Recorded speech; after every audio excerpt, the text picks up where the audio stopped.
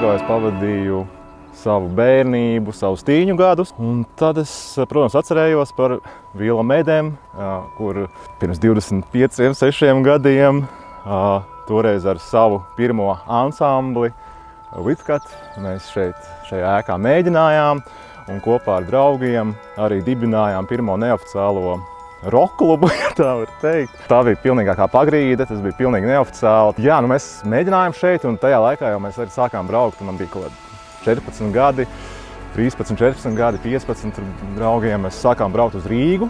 Un Rīgā, Krāma ielā, vecrīgā darbojās krāmene. Tas vārds nāk no Rīgas īstenībā, jo Rīgā arī tādi pusoficiālie klubi jau darbojās Krāma ielā, un tur bija tāda smago mūzika, atskaņo koncerti.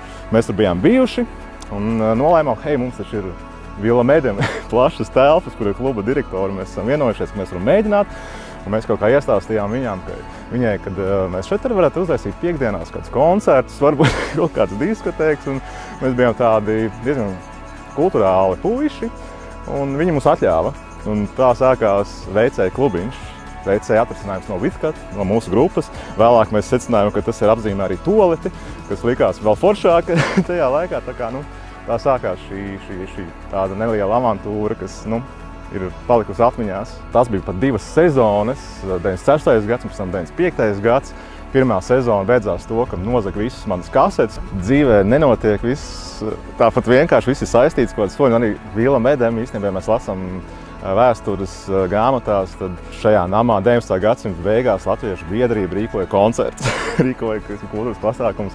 Pēc tam tur brīvās laikā notikuši ir kultūras pasākumi. Tad ir Lara Līnija klubs viņš bijis, ja, un tad arī šādi te underground pasākumi tur bijuši. Tā kā tā vietā kaut kāda aura, un tā ir dzimtene Jelgava.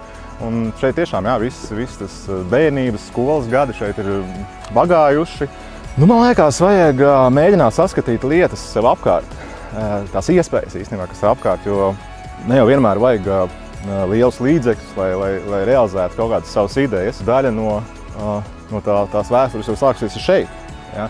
Jo pēc tam jau es atceros, 96. gadā tas pārcēlās uz mašīnu būvi, un tālāk jau stafeti pārņēma spīdolas skolas pagrabā. Ja? Un kaut kā tad es jau tad nogāju no tā radara, bet uh, es ceru, ka balerija pārdzīvos šo krīzi, kas mums šodien 2020. gada pavasarī ir, un, un, un turpinās iesākt to darbu. Un, un tā kā droši vien, ka šī, šī, šis mūsu aktivitātes bija kaut kāds maziņš piliens tajā visā, kas kaut kā ir ietekmējis lietas.